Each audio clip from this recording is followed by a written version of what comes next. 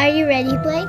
Yeah, but are you sure you can read my mind without a crystal ball? This is all I could find. This will work. I see a huge house with a tiger and a sports car. Really, what else? You're going to have 10 kids. Oh, really? Ten? Are you sure? Shh, there's more. I see a trophy. A trophy? It says World Juggling Championship. But I never want to do juggling. The fortune teller's always right. So what else do you want to know? Am I gonna be famous? I see you on TV. Oh, like on Ellen? No, on the news for breaking the world record at wearing the most hats at the same time.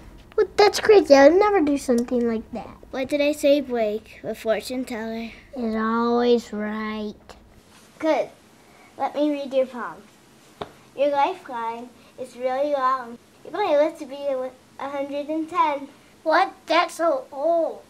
You'll have lots of tattoos all over you. But I never want tattoos. Well, I guess you're going to change your mind later. I'm never gonna change my mind. You're just bad at this. I bet you haven't even read all those fortune telling books. Have to. I've never been wrong. That's because it's in the future. Exactly. We're going to see, won't we? Yeah, in a really long time.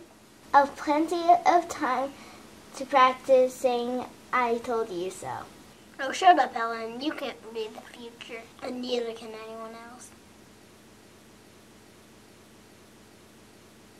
I'm sorry. I didn't mean it. You can keep going if you want. No. It's stupid. I was just making it all up. So, what's for dinner, Helen the fortune teller? Hmm. Something from far away. Like Canada? No, across the world. Kids, I'm home. I brought Chinese. How did you know that? I didn't. Wait, how many kids did you say I'm gonna have? Uh, I don't remember. Let's go eat.